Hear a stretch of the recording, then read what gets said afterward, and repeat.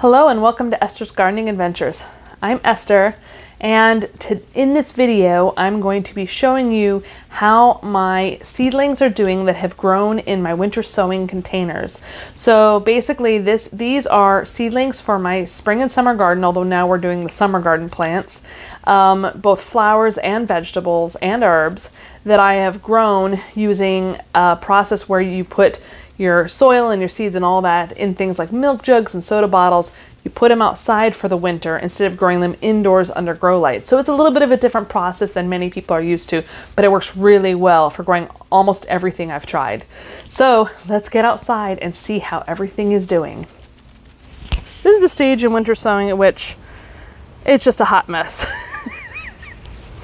Uh, if you saw my last video, you heard me mention that I'm sort of in a state of action paralysis where um, I don't really feel comfortable transplanting out these things into the front yard, which is where most of them would go, um, until after this pest treatment is done. So the first jug we have here is salvia. Oh man, I didn't write it well on either side. And this, it's ready to go. It's beautiful. this one is really healthy. I opened this about two days ago. Um, and the reason I've opened these is because it was raining a lot. We had a lot of heat, and some of the leaves on some of the plants were starting to get mildewy and just unhappy. And they were growing out the tops and stuff. So I just said, okay, let me go ahead and open them up, give them a few days of air, make sure I water them well. Some of them do need more water. This one's doing okay at the moment. Um, yeah, the salvia is ready to be planted up, and it's looking really great. Here's my half jugs of hillbilly flame tomatoes. Some of them, this is the container that wasn't having such a good time. Um, and looks like, yeah, little damage from getting too wet. But I do need to water them as well. This, well, there's moisture down in there. But yeah, I'll give them some more water today. And the brandywine tomatoes, you can see they've got all kinds of angles. And they do that sometimes. But you know what? In this case, it's okay because I kind of know where the brandywine tomatoes are versus the hillbilly flame tomatoes. Here I have a transplant of one of my cherry tomatoes that I'm giving to a, a local cause. There's like a community garden that helps, I think, homeless children know how to garden or something. I'm not quite sure how it works, but um, this is the plant I'm giving to them, as well as some others that I potted up. Here's Abe Lincoln tomatoes and Rutgers tomato, which is a determinate. Look at this stunning Rutgers tomato. Look how thick this stem is. This is a happy tomato. And, you know, while these tomatoes look like they're ready to be transplanted out, um, you know, because they don't like they're doing liking this situation. But that tomato, those tomatoes look fine. So I don't feel like any of them are getting so stressed that they can't handle, um, you know, staying in the jugs for a few more days. Here's my Cherokee tomatoes and my zebra tomatoes. Let's see, the Cherokees are looking nice. They are having the spotting happening here. If anybody knows, I think this is just maybe from water or maybe um, I'm not sure what's causing that. I will really remove those leaves though. But again, even though, and I don't mind that they're at an angle because I will plant them. I can plant them in the soil at a semi angle and then just have them grow up from there because they can grow stems all along, roots all along this part. now, here's two jugs that I'm really having a hard time with. And it's not because they're not doing well, it's because I, it's this action paralysis I talked about yesterday, as well as additional factor of I've never grown either of these before. I'm still deciding where I'm going to plant them. And this is wild wood oats, or sea oats, or Indian wood oats. And you can already see how nicely they um, blow in the breeze. I planted a lot of seedlings, and in fact, you can see a chunk here where I took away. I gave some seedlings away uh, at the plant swap uh, in April, but they're doing great. I need to, I'm only going to use like two or three of these guys because each one gets really bushy and um, each one gets really bushy and um, you know, I know where I'm going to put them, but it's going to be right close to where they're going to be treating the house foundation. So I'm not going to be uh, transplanting them until after that. And then there is the yarrow, which I only need like two plants of this, and I oversowed it as uh, a lot of people do, and I need to get these transplanted out soon and give away the rest and pot up the rest, or just toss it. Who knows? Um, hopefully, I can find people who will be takers locally for it. Here are yesterday I potted up. Please tell me I relabeled this one. This is the one I didn't relabel. I know I relabeled. Okay, so these are Roma tomatoes. I put don't prune. Um, so technically with winter sowing, the whole idea is you go straight from the container to your garden. You transplant it directly, and you can do that. There's, that's what it's meant for. That's how I typically use it. But because I'm splitting these up between myself and my mother, I'm also giving some away. It's easier for me to go ahead and pot up. You know, I put holes in the bottoms or the sides of the containers. It's easier for me to pot up the tomatoes and mark them like this is one I'm going to give away. Obviously, I don't prune on it to that group I talked about earlier in the video. Um, let's find one. This is mom. This is one of yours. She's going to have for her garden. And so I like to kind of decide where they're going to go as I'm potting them up. Um, and there's another reason that it's a good idea to pot them up at the same time is because I have split jugs. And to be honest, this was a split jug. I took out a seedling and I didn't remember which side was which and the tags had fallen out. And so I know half of this jug is yellow pear tomato and the other half is Gardener's Delight, which is also a cherry tomato. So at least they're the same kind of tomato, sort of, in that, you know, they're small tomatoes, not beefsteak or something.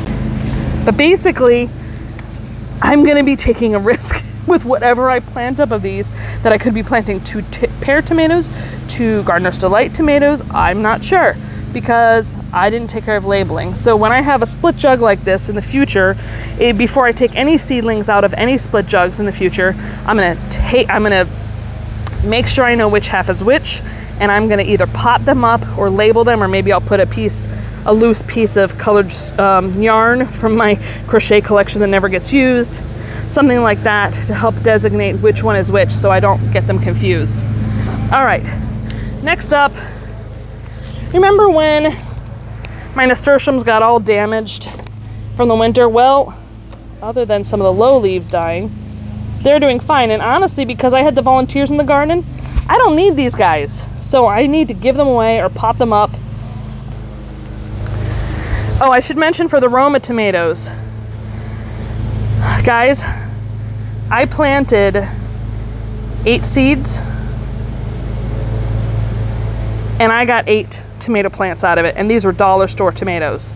So if you're ever wondering if dollar store tomatoes are viable and good quality, there's an answer for you, which uh, you know I found to be true all over the place. Now there's a few jugs that don't have sprouts yet. That includes the marigolds that was from Ferry-Morse, is a year old thing. Um, oh, hey guys, another discovery. The sweet orange peppers that I got from the seeds that I got from that seed swap in April are sprouting. Look how many. Oh, mom, you're gonna have lots of sweet orange pepper plants.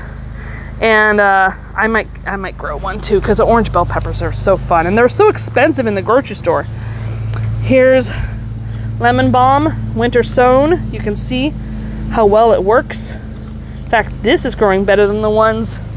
No, it's doing about the same as the ones that came back from last year. Um, I'm gonna give them, I'm keeping lemon balm and mints in containers. This is chocolate mint I got from a local farmer and some lavender I got from the co-op down the street.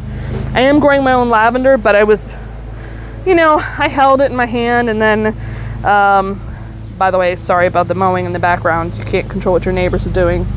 Um, I held it in my hand. And then, let's see, white avens, still nothing. Nothing from the White Avens. We already talked about that one. Nothing from the swamp milkweed, unfortunately. Now these are the Christmas lima beans. These are the Christmas lima beans that got damaged from the freeze that I've just kind of let grow with the lid off. This far this year looks like they may have gotten some um, spider mites or maybe this was left over from when we had that freeze. And then my mom saved porco tomato seeds from her garden last year. And these are apparently huge beefsteak tomatoes. And look how I planted a lot of the seeds thinking she didn't save the seeds right. well, mom, looks like you did just fine because we have a la plethora. We have a porco tomato jug forest. I don't even know how many is in here. Let's see. One, two, three, four, five, six, seven, eight, nine, 10, 11, 12. More than 14 in this container. So I need to give some away.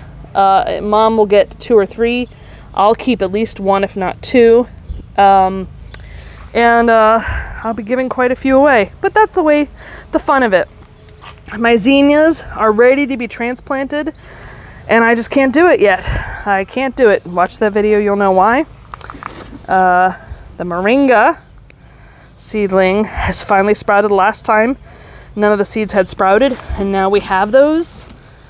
Uh, I'm not going to go through all the stuff in the jugs, but I will show you the eggplants that I grow, including the single eggplant, which I believe is the one that's up in the top there, top of this frame, um, are great. Yesterday, I opened up my Lakota squash and my cassareti squash. The Lakota is a winter squash, and the casseret, let me see, what does it say? Cassert, caserta squash. Um, and I'm keeping tulle, bridal tulle on top of them until I transplant them because I don't want any vine borers to plant in them or uh, cucumber beetles or anyone to get to them until, well, ever. And I'm actually going to try using tulle to protect them once they're also transplanted. These are cabbage seedlings. I don't need them. They're a little stressed because I haven't helped them out and I'm probably just gonna toss them because it's towards the end of the season for transplanting them. Uh, I should have offered them to the local community garden sooner, but lessons learned. Another plant that's ready to be transplanted, but I can't yet, is my marigolds. These are marigolds. See, it says mine. These are marigold seeds I saved from last year from the garden. Look how healthy and happy these guys are. They're doing so wonderful. This is pine, this is a coneflower. This is purple coneflower, which is native to this area.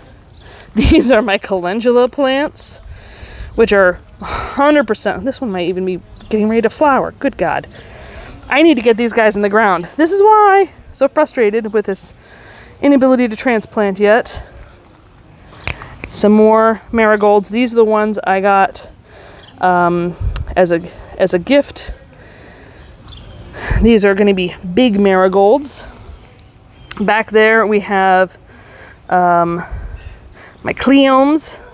They're ready to be transplanted. I'm going to be putting them over there near the shed, so I need to prep that bed soon. So that gives you a sense of what I've opened. Now the containers that I haven't opened yet, I think there may be at least one tomato plant I haven't opened yet.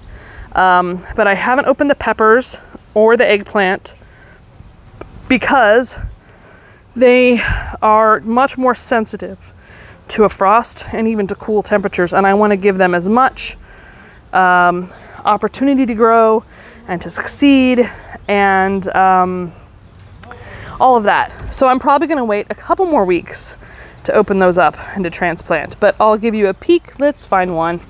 Oh, bee balm. I should open that up soon. It's looking good. Let's see some of the peppers. Well, I can show you. This is a ancho poblano pepper. It looks like somebody's in there eating some of the leaves. Hmm. Ancho poblano peppers. Oh yeah. I almost forgot to mention my Gaillardia Indian basket flowers are pretty ready to be transplanted. oh yeah. And you know what? I'm gonna show you what's in the jugs anyway. Let's take a look. This is asters. I only had, these are supposed to be dwarf asters. I only had one sprout but it's looking pretty healthy. Next up, while our swamp milkweed did not sprout, the butterfly weed did, which, you know what, I'm just as happy about to have any of them. And they're looking really, really happy. This one right here is very close to the top already, so I think they're definitely ready to be transplanted. I feel like I'm going to be saying that a lot today. Basil large leaf. Slugs have gotten in and eaten some of the leaves for the large leaf, which is fine. I'll take care of that later, but it's the one that sprouted. So looking forward to transplanting that soon. My coxcomb, king coral. Now this is one that's a low-laying coxcomb to the ground. The beautiful, beautiful coral looking. Oh, guys, they are looking primed and ready to be transplanted. Catnip. Actually, let's open it up and see. Let's have a reveal here, guys. All right, I've taken off the tape. So now let's see. I'll set it here. A nice sunny reveal. Oh yeah, the catnip is ready. Looks like we did not have any shiso sprout at all, but that's okay. The catnip is definitely ready to be transplanted. Oh, and is that a weed? That's a weed. No weed. No, Mr. Weed, you are not allowed to grow in my jug. Not as if I don't have enough of the neighbor cats in my yard. This is definitely going to go in the front yard, not the backyard. Oh! I filmed it on Sunday without the eggplant, but guys, I've opened my eggplant and look how beautiful they are. This here is my single seed challenge eggplant, if you've been watching.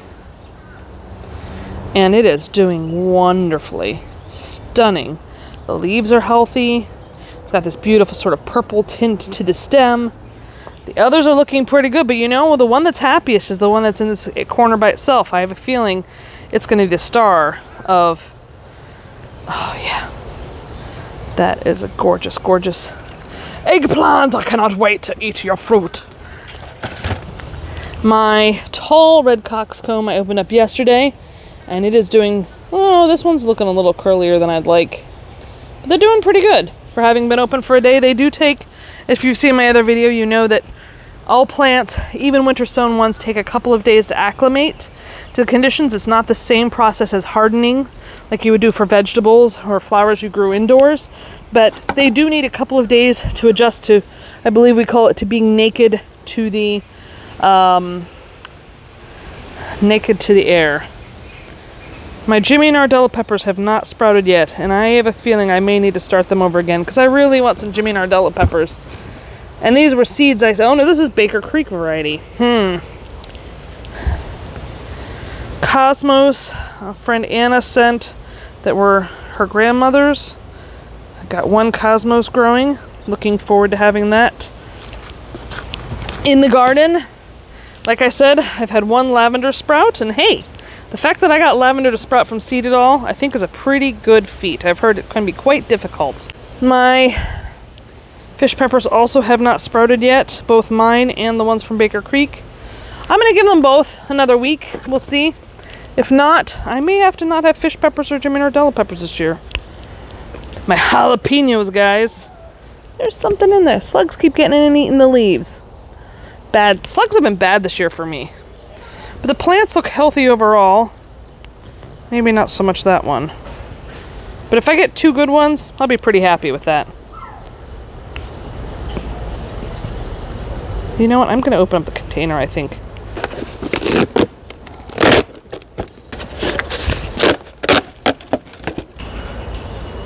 Okay, so we have four plants, and I'd say this one and this one look like they're going to be okay. Maybe this one. This one definitely looks like it has been... This one definitely looks like it has been chewed down. Unfortunately. We'll see how that one does. But hey, two works for me. Uh, we'll just plant more of another variety. My Rudbeckia. Oh, that's doing well. Good. This is, um, these are my black-eyed Susans. Globe Amaranth. Oh, I wish I had more than two plants. They're such a great plant. But you know what? I think I had two plants that created some big bushes last year, so I can always plant them by seed um, directly out there, and then I'll have multi generations of them. Oh, and before I sign off, let me mention real quick that I transplanted out some of the parsley that I winter sown, winter sowed, four plants, two curly leaf. Oh, looks like maybe a squirrel or something killed this one. And uh, yeah, I think the squirrels or whoever it is likes to eat the flat leaf, but not the curly leaf. So uh, maybe I'll be growing curly leaf in my garden after all. And in fact, this is curly leaf from last year that reseeded and resprouted on its own. So I guess curly leaf parsley is in my future, guys. That's it for this video. Thank you so much for watching. If you enjoyed this video, please hit the like button. If you aren't already a subscriber, please consider doing so and make sure to have the alerts set so you get a heads up when I post new content. And uh, otherwise, I'll see you next time.